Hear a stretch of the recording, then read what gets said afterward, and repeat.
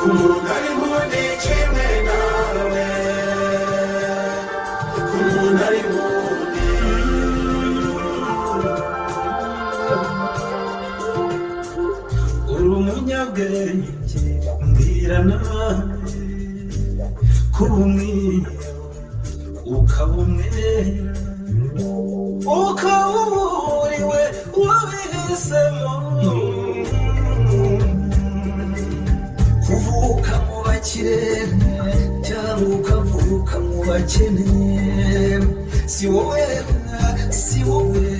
wabisemo sinubundi sinubundi wabiguhitiramo nukuri mba nk'urugamba iraguhanze yonyine.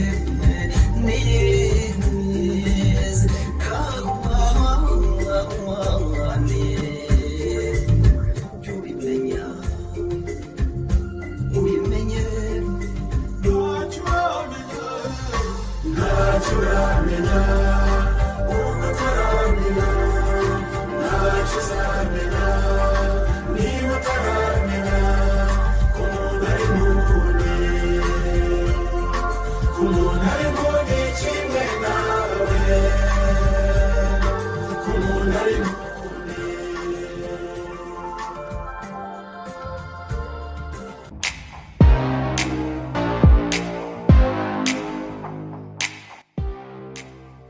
LECP Info Liberté d'expression culture et paix ubwisanzure mu bitekerezo umuco n'amahoro bienvenue. Welcome.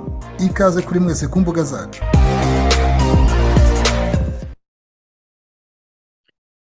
twongeye kubasuhuza inshuti bakunzi ba gahunda z'ibiganiro byacu. Turabasuhuza tubifuriza amahoro tubifuriza ibihe byiza aho muri hose baba bari mu rwanda n'abari hirya no hino ku isi. Kare twabibateguje kuri iyi saha dufitanye ikiganiro n'abanditse cyangwa n'abagize uruhare mu kwandika cya gitabo. Bamwe mwagize amahirwe yo kugisoma abandi mukaba mutaragisoma. Ari na yo mpamvu dukomeza kukigarukaho igitabo cyitwa la parole.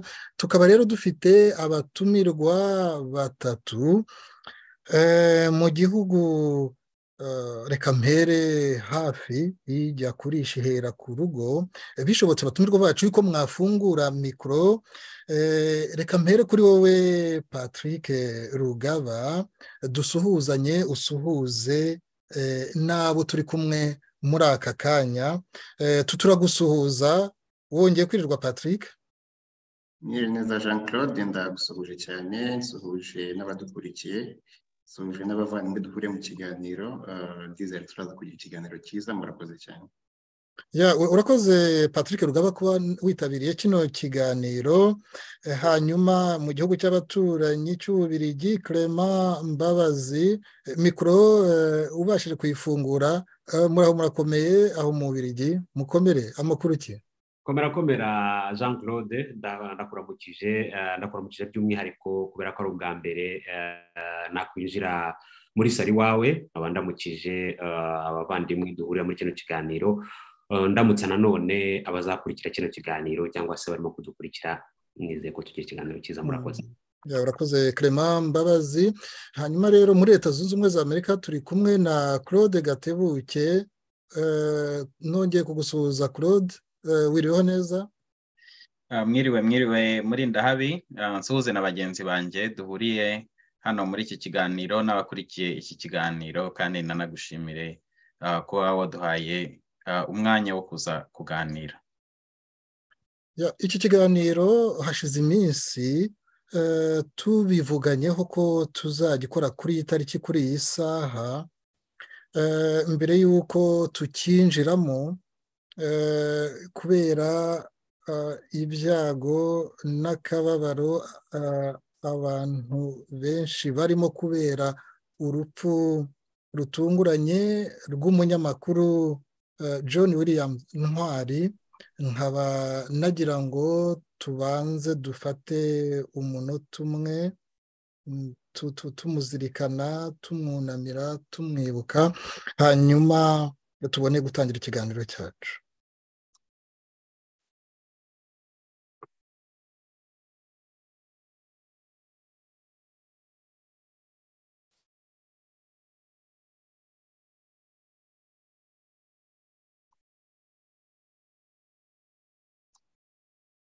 Murakoze cyane. Iki kiganiro rero kubera iki? Twumvikanye twagiye inama tugasanga tubatumiye hano kuri uru rubuga nkoranyambaga mwaza tukagira icyo tuganira. Ni uko tuzi ko ku wa gatandatu ku itariki makumyabiri n'umunani ni muri uku kwezi nyine mufite gahunda idasanzwe mu gihugu cy'ububirigi. Tukaba tugira ngo mutubwire ni na yo ntero twahaye kino kiganiro ko muduhamagarira iyo gahunda idasanzwe mu bubirigi nkaba ngira ngo abe ari we mperaho claude gatebuke. Gahunda idasanzwe. Kuki? Ni iyihe? Nivuga iki? Reka dutangire tumara abantu amatsiko. Murakoze cyane. Iyo gahunda idasanzwe ni gahunda yo kugira ngo abanditse igitabo sirivive panda pawoni nk'uko babivuze n'abagize abagitanzemo ubuhamya icyo gitabo ni igitabo kirimo ubuhamya bw'abantu barenze ijana bivugira amateka yabo nta kintu bahinduyeho ntacyo bakuyeho nta tekinika abo bantu rero bamwe mu bacyanditse no mu banditse ayo mateka yabo bazaza muri iyo gahunda yo mu bubirigi impamvu rero ari ikintu kidasanzwe icya mbere ni uko ubusanzwe turabizi abanyarwanda ni abantu ahanini batinya kuvuga amateka yabo no kuyavugira ku mugaragaro. N'iyo umuntu agiye kuyavuga hari igihe usanga avuga ati reka ndakoresha audio gusa cyangwa ndandika singaragare. Ubu rero bizaba ari ibintu byiza kuko ni ikintu cyavukiye muri platiforume ya ribarwa riraye twatangiye tuvuga amateka yacu tuvugira kuri interinete twakoreshaga byacaga kuri yutube turakomeza tugeraho mugenzi wacu Eric Ngoga azanye igitekerezo cyo kwandika igitabo igitabo turacyandika igitabo kirasohoka ariko umunsi wa mbere igitabo kigisohoka twakoze ikiganiro kuri kuri voice of america munyihanganire nubwo bwose turi mu bihe by'akababaro ariko ntabwo nakwihanganira kutavuga ibintu iyo byaba bisekeje. Hari umuntu waje muri komanteri aravuga ngo icyo gitabo ngo harimo utuntu tw'utunyoma n'iki kandi amaze kuvuga ko igitabo atari yagisoma. Hakaba no wenda n'abavuga bati wenda harimo itekinika nyine.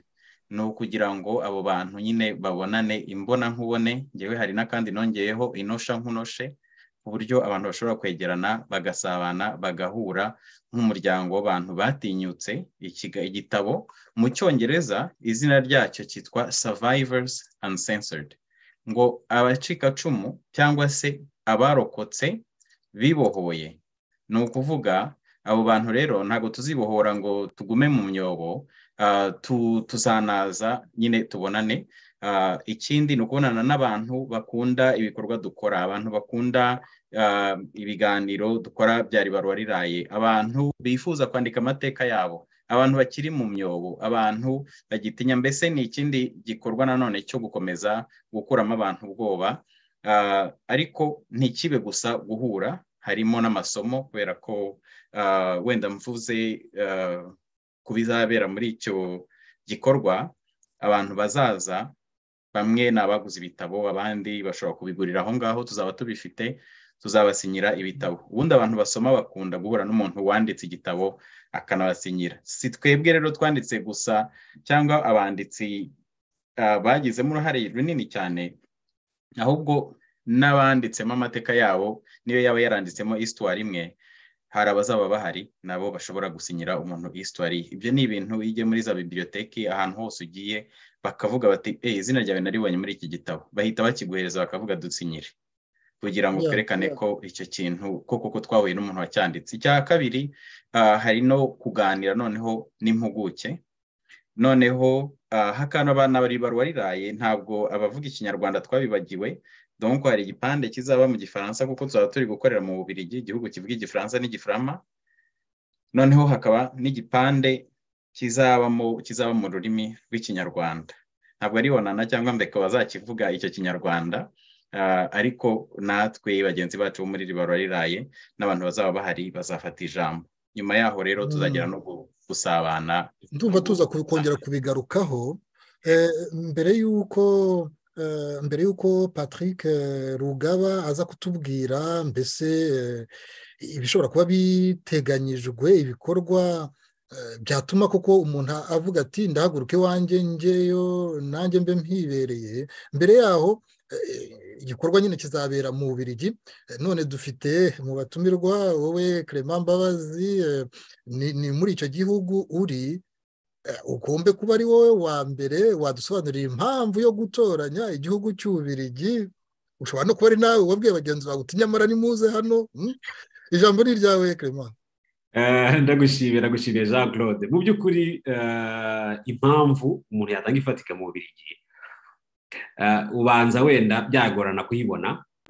Ariko eh, icy'ingenzi ni uko urebye mu by'ukuri kuri iyi si turimo cyane cyane ino mahanga ahantu hari abanyarwanda benshi ndibaza ah, umuntu atabereye haba ari mu Bubiligi ni uko ari n'agahugu gatoya.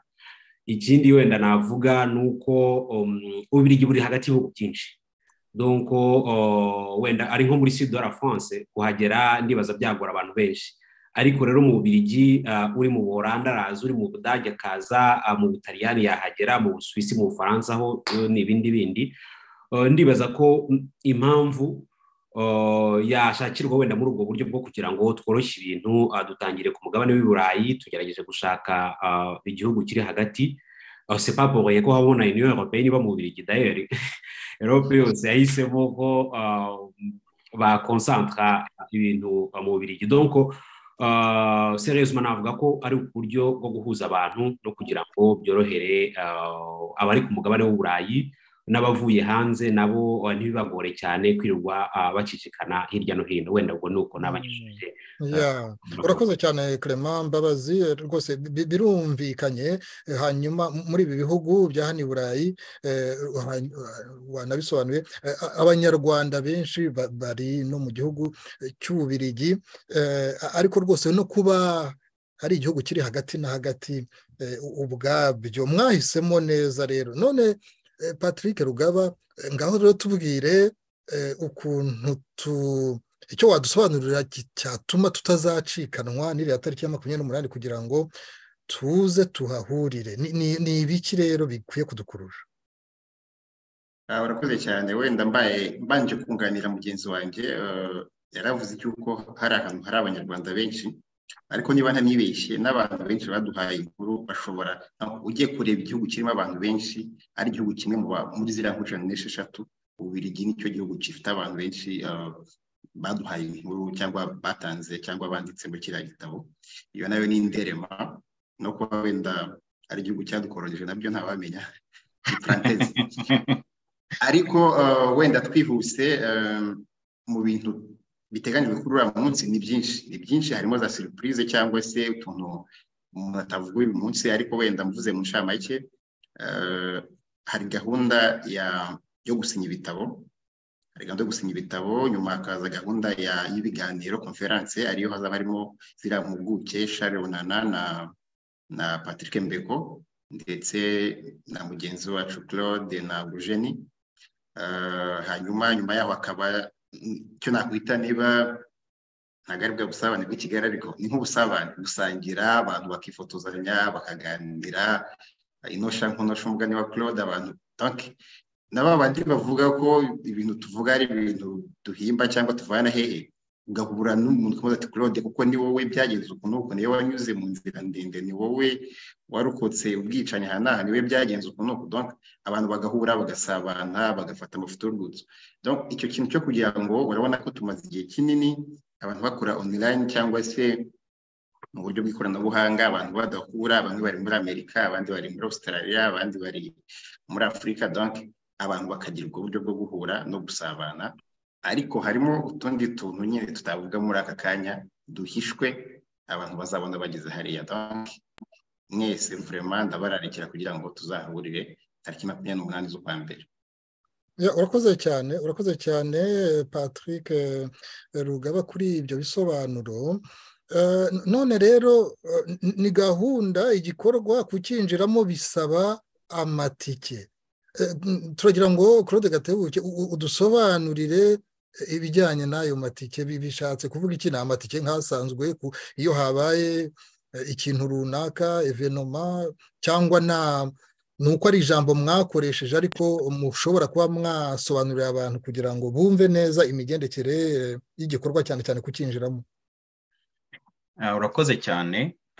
Itike igituma tubyita itike ni uko ari cyo kintu abantu bazaperezanta nibagera ku muryango kugira ngo mbese bashobore kwinjira. Ariko ikindi bidufasha igituma twakoresheje amatike ni uko iyo urimo kwitegura abashyitsi wifatira umwanya kwitegura abantu mirongo itanu no kwitegura abantu ijana cyangwa abantu magana abiri ntabwo ntabwo ari bimwe. Rero iyo sisiteme yo gukoresha amatike kugira ngo twitegure abantu neza tube tunazi umwanya wenda ibintu bishobora gufata cyane cyane nk'ibyo ngibyo byo kuganira bisanzwe ibyo bintu byo byo kwifotoza gusinya ibitabo ni ibintu byose bifata umwanya ariko nyine bitewe n'umubare w'abantu bazaza. Icyo ni cyo cya mbere ni ukugira ngo tube twiyoruganije kandi mu buryo tuzakira abantu neza. Icya kabiri ni ukugira ngo n'umuntu ubifitiye gahunda nyine azaba ari siri yo kwinjira nahagera azashobore kuba yakwinjira nta kibazo agize. Ikindi ni uko amasare agira za limite na stade ubwazo zigira limite z'abantu binjira. Iyo bigeze rero ku mubare wa maximum amatike arahagarara. Ni ukugira mbese kugira ngo umuntu azaba ari siri ko azaza tukamwakira tukamwakira neza kandi agashobora kwinjira. Ibyo byose ni ibintu bijyanye n'imyiteguro. Urakoze cyane claude gatebuke kuko ntushobora kwibaza ati kubera iki ibi bintu by'ubuntu bisaba amatike? Ndumva wari ubisobanuye rwose kereka niba hari ikindi kintu ushaka ko ushobora kongeraho kugira ngo bifutuke neza.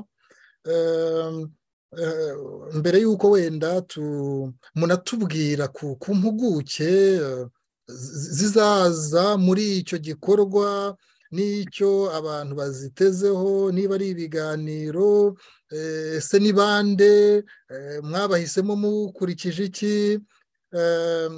Reka wenda tubanze twumve Clement mbabazi hanyuma mushobora kunganirana kuko twabonye ku mafoto izo mpuguke koko ni abantu basanzwe banazwa ariko mudusobanurire kuko hari abantu ushobora kuba turi kumwe ubu ngubu batarabonye n'arya mafoto mwakoresheje. Clement ndagushimiye encore jean claude donc nk'uko bivugaga ni impuguke twifuje kubana na zo uwo munsi kubera ubumenyi bafite kandi bagaragaje ku bibazo wenda bya afurika y'ibiyaga bigari cyane cyane ko ariho histoire ziri muri zikuriye muri bino bitabo ni ho zabereye. Ni ibintu rero bakozeho ubushakashatsi bamwe bagiye banatangaza ndibaza ko wenda n'uwaba atabazi yagerageza kureba kuri mudasobwa kureba kuri interinete wanditsemo izina patrick meko cyangwa se Charles nana wabona ibyo yakoze ukabona ubwo bushakashatsi yakoze n'icyo yaba wenda avuga ku gitabo cyanditswe kuri aya mateka kuko amenshi twebwe wenda turimo kubyandika ubu ngubu ariko ibyinshi ni ibyo bagiye babona ubushakashatsi bakoze deja tutari twa abanyarwanda batari batinyuka kuvuga cyangwa se kwiyandikira amateka. Nuko ndibaza ko kubahitamo kubahitamo byari igitekerezo gikwiye kandi nta kabuza nta no gushidikanya ko icyo bazadufasha gusobanura cyangwa se kuganiraho bizaba ari ibintu bizadufasha nk'abanyarwanda cyane cyane tudashyizeho ko nabo wenda ni abanyamahanga umukongomani undi ni umukamerune. Donko nibaza ko muri muri iyo esipuri yo kugira ngo afurika dushyire hamwe no kugira ngo duhure cyane cyane n'abo bantu b'aba egisiperi muri domene zabo byagira ikintu bifasha nk'uko nabivugaga mu kanya yaba ari abanyarwanda twe batwebwe cyangwa se n'abandi turi kumwe cyangwa se n'abazadukurikira inyuma bakareba ko hari hari ubushakashatsi bwakozwe kandi ko hari abantu babyumvishe bakumva prevarapui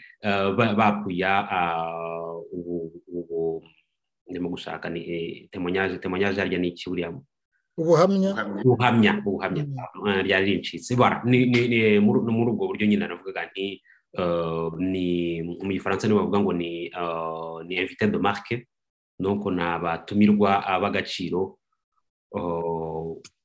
kandi nta kabuza ko raporo bazazana ku kiganiro cyangwa se n'uburyo babonye igitabo bizadufasha mu minsi iri imbere murakoze urakoze cyane Clement mbabazi. Ngira ngo ntabwo rwose twari dukwiye gucikanwa kuko dr charles onana ndetse na patrick mbeko ni abantu bazi kariya karere k'ibiyaga bigari bazi cyane n'u rwanda. Ku buryo ntabwo mwabatumiye gutya ari ukunaga bya bindi bakora by'urusimbi ntabwo ari nuko mufite muzi ko ari abantu bazi akarere bakaba bazi n'u rwanda. None patrick rugaba mbere yuko twumva claude gateruka niba we hari icyo yongeraho aho ka gaseke kari gapfundikiye ntimutangiye kugapfundura? Reka ni na byiza gutangira kudusogongeza. Kuko bariya nawe ngira ngo muri abo batumirwa n'impamvu mwabahisemo ni uko muzi neza ko hari icyo bazungura muri kiriya gikorwa. Nibyo muri ndahabi. Agaseke ko ni harimo byinshi cyane. Niyo twatangira uyu munsi byageza makumyabiri n'umunani tutari twabisoza. Ni byinshi urumva gahunda hari niba ntibeshye izatangira saa munani mu bibiri byigeze saa tanu. Ni ibintu byinshi cyane biteganyijwe. Ariko nsubiye ntunganiye mugenzi wanjye icyo yavugaga. Urabona nka bari abantu twatumiye bari aba egisiperi nka onana mbeko ubona ko ni abantu harimo n'ikintu cy'umuco usa nko gushima ariko nabyita kimwe bita mu gifaransa rekonesanse hari abantu b'abanyamahanga ubona bitangiye kuvuga ukuri ku mateka yacu twe tukiri na batoya tutari twagira n'izo mbaraga zo kubikora bamwe muri twe. Abo bantu bakaba ari nk'abantu batubanjirije bakaba ari abantu bagize ubwitange bukomeye bikabateza n'ingorane nyinshi bitewe n'uko ukuri bashaka kuvuga kuri abantu benshi ndetse n'abanyembaraga badashaka kuvugwa. Abantu nk'abo ngabo rero ni iby'igiciro kuba tuzaba turi kumwe uwo munsi ndetse banari kumwe n'abarokotse amwe mu mahano bagiye bagaragaza mu bushakashatsi bwabo. Ni n'ikimenyetso gikomeye ndetse ntakuka kuri ba bandi bashaka guhakana ibyo bo bagenda bagaragaje mu bushakashatsi bwabo ndetse n'ibyo abantu bagenda batangamo ubuhamya. Harimo icyo kintu cyo kugira ngo mu by'ukuri ntabwo turi mu bintu byo gushaka wenda kwemeza abantu amateka yacu n'amateka y'u rwanda y'ukuri kuko yaragoretswe ariko harimo kugira ngo twerekane mu by'ukuri ko birya bintu barya abantu bavuga mu bushakashatsi hari ababibayemo hari ababirokotse barahari. Abantu bashobora kubabona bari kumwe na ba bandi. Kugira ngo turusheho kugumya kuzuzanya mu gushimangira ikintu cy'ukuri ku mateka yacu ku mateka y'akarere k'ibiyaga bigari ubona ko yagiye azamo ibintu bya manipulation no kugorekwa bitewe n'inyungu z'abantu urakoze cyane patrick rugaba. Mbere y'uko mu kanya tuza kumva claude gatebuke tukaza no kugana ku bibazo bya nyuma na nyuma ku buhanga bw'ibyuma turaza no tugiye no kumva ka videwo kajyanye n'ibi bya ribaruwa riraye n'amateka atari amateka y'igihugu gusa amateka y'igihugu abaho kubera yuko buri mwene gihugu afite uko yayabayemo. Ni urwo rwuzuzanye rwose. Mu kanya ubuhanga bw'ibyuma ako ka videwo karajyaho. Hanyuma tubwira abadukurikiye ko niba mubona intero y'ikiganiro yagiraga iti claude gatebuke janti urujeni patrick rugaba claude mbabazi hari abashobora kuba bavuga bati janti urujeni ntabwo turi kumubona ariko ni uko nawe yashoboraga kuba ari kumwe natwe ariko urugendo yakoze uyu munsi za tra zaje gukererwa ku buryo mbese atabashije kuza mu kiganiro ariko izina rye ni muri ubwo buryo ryarimo kuko nawe hari ibyo yashoboraga kuza kudusangiza tuganira dufatanyije ubwo ngubwo cyakora nta kibazo naho ubutaha. Mukaba rero muri abagize uruhare kugira ngo kiriya gitabo cyitwa survivre par la parole kibashe kwandikwa kuba muri abanditsi cyangwa mwaragitanzemo ubuhamya. Murakoze kudushyiraho ako ka videwo none claude gatebuke tugiye kugana ku bindi bibazo keretse hari ikintu nge numvise yaba Clement yaba na patrick rwose ikibazo twari tuganiraho mu kanya bakivuye imuzi ahubwo umuntu akaba yakwibaza kereka hari akantu ushaka kongera? Babisobanuye neza cyane. bose babivuye imuzi ahubwo ndagira ngo mu gihe abadukurikiye bashobora kubavuga batari ko ku iterambere ikoranabuhanga rimaze kugera ku rwego rwo hejuru aho ibibera aho ariho hose ku isi umuntu ashobora kubikurikira yibereye muri mu ruganiriro iwe atakoze urwo rugendo birakwiye ko musobanura kurushaho impamvu rwose ibyo ngibyo atari byo umuntu yagenderaho gusa. Byo kuvuga ngo nshobora kuzabikurikirana ndi iwanjye ahubwo umuntu akumva ko agomba kuzahura n'abandi. Claude? Icya mbere wowe impamvu ugomba kuza ni uko umuntu agomba kukunosha akamenya ko kuko uri umuntu ubaho atari umuntu wo kuri yutube gusa tubona. Ariko icyo ngewe navuga ni uko ni byo tekinoloji ituma twegerana tubana n'abatazashobora kuboneka ahubwo wenda mbibabwire ko muzashobora gukurikirana ikiganiro na ziriya mpuguke n'icyo cy'ikinyarwanda kuri sitidiyo umutware. Icyo gipande kizatangira ari saa kumi n'imwe zo mu Bubiligi no mu bufaransa ariyo saa kumi n'ebyiri yo mu rwanda. Noneho akaba ari saa tanu z'amanywa zo muri eastern time abatuye muri muri north america. Icyo ni kimwe. Ariko ku bashoboye kuhagera. Icya mbere ni uko burya abantu uko wamera kose nta muntu ushobora kuba mu mwobo ngo abe mu mwobo igihe cyose buriya kubana n'abantu ni ikintu cyiza. Icya kabiri hari ukuntu buriya iyo ubonye oporutinite ntabwo twese tubona za oporutinite zo guhura cyane nta ibihugu biratandukanye isi ni ntoya ariko isi ni na nini. Bari igihe umuntu agera ahantu rimwe rimwe mu buzima. Iyo iyo oporutinite igucitse ntabwo uba ukimubonye n'abazaza rero ubwo wenda ni rimwe tuzababonaho ngewe bizanshimisha kubona kuri abo bantu. Hari na ikindi kintu byongera byongera imbaraga. Buriya uzarebe iyo wagiye wenda nko muri konferanse cyangwa se ahantu hahuriye abantu. Iyo uhahuriye n'abantu bikongerera imbaraga bigutera imbaraga. Kandi turashaka imbaraga za imbaraga zo gukomeza kwiteza imbere zo kwivura ibikomere zo gukira kandi zo kwibohora no kubohora abanyarwanda. Ibyo byose hari no kuganira imbonankubone kuganira abantu bari hamwe burya ibiganiro byo kuri tekinoloji n'ibiganiro by'abantu begeranye ntabwo ntabwo ari kimwe. Ikindi burya iyo wegereye umuntu ushobora no kubona ahanini ushobora kubona ko ari umuntu koko wemera ibyo avuga cyangwa se umuntu ubitekinika. Hari impamvu rero nyinshi zo guhura. Ikindi ni uko kuri ngewe buriya ni hahandi u rwanda amaherezo impinduka izaza kandi tuzarubanamo n'ubundi ni byiza gutangira kubana hakiri na kare. Tugatangira gufata ntuza kera iyo wacaga ku muntu ucuruza ubunyobwa waramubwiraga ngo mbonjya tugatangira kwibonja uko uko tuzabana mu kuri mu butabera mu rwanda rwibohoye u rwanda twifuza u rwanda rutavangura u rwanda rwakira buri muntu uko ameze u rwanda rw'abarebare abagufi ababyibushye ab'inzobe n'ibikara abantu bose imyaka yose abakuru n'abatoya ni cyo kintu na kiriya gitabo duhuriyeho.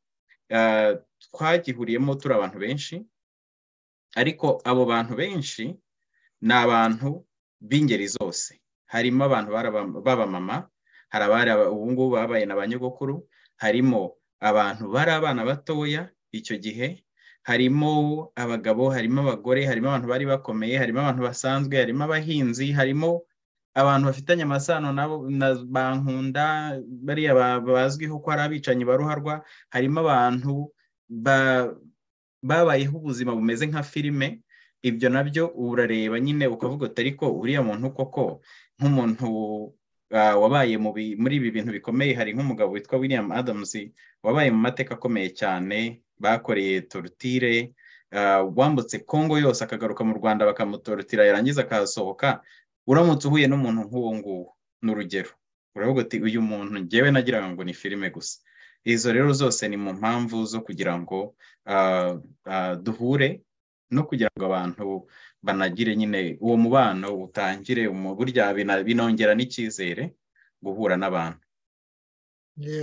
Murakoze cyane rwose. Murakoze cyane kuba muduhaye ibyo bisobanuro bidufasha kumva gahunda uko izaba iteye ariko no kutwumvisha neza impamvu zigaragara z'uko tudakwiye gucikwa n'icyo gikorwa mwateguye mutitekereza gusa ahubwo mutekereza n'abandi. Icyo ngicyo ni na cyo kibanze ku muntu nyamuntu.